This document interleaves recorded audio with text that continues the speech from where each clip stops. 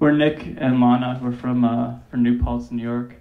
We're traveling through here to see a good friend named Nate, and um, so yeah, we heard about this this event and thought we'd share it with you. So thanks for having us.